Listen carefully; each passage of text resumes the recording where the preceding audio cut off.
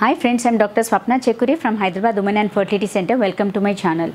So today most of the like you know let us discuss about the most common topic uh, like you know pain during sex. Uh, is it normal or uh, how to prevent it? What could be the causes for that?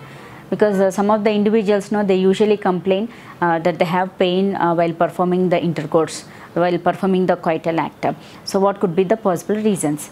So uh, basically, it could be because of uh, first of all, no, uh, the newly married couple they take lot of stress. So because of stress and anxiety, and you know they'll be having that fear, the first coital act. So that's when they usually have pain. That's the most commonest.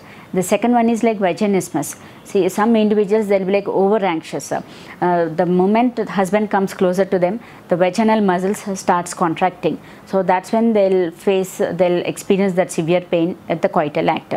Third thing is like we need to rule out the vaginal infections.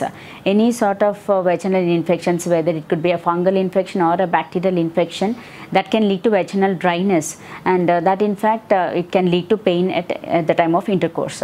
And second and the fourth most commonest point is uh, uh, pelvic inflammatory disease if at all if the lady is having any pelvic infections either it could be a chlamydial infection or a tuberculosis infection or syphilitic infection that can also lead to pain at the time of intercourse.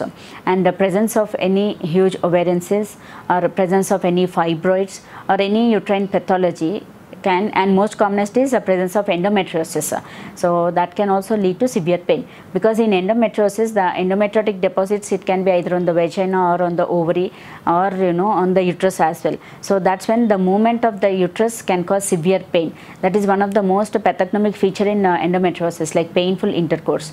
The minute they say painful intercourse we usually try to rule out endometriosis. So these are all the common uh, no, common uh, problems uh, like where they are associated with uh, vaginal pain at the time of intercourse.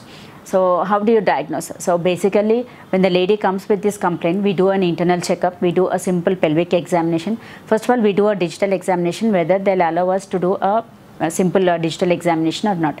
If they are comfortable, then we gently put a speculum inside. So if we are able to insert the speculum, yeah, then even the vaginismus is ruled out.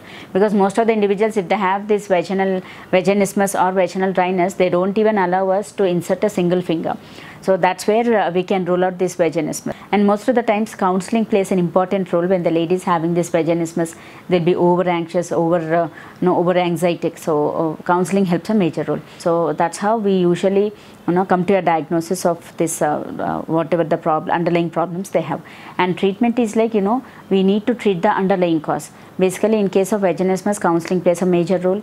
In case of vaginal dryness because of infection, once we control the infection, the symptoms can get relieved. Third thing is like we usually advise for, to use lubricants in some of the newly married couple just to, to relieve the vaginal tightness. And uh, in case of any pelvic inflammatory disease, we usually give a course of antibiotics to reduce the infection. And in case of any pelvic masses like ovarian cyst or endometriotic cyst, then we try to deal it surgically. So first we try with the medical line of management. If it doesn't get clear, then we have to go for the surgical management. So these are all the treatment modalities available with the you know, painful intercourse.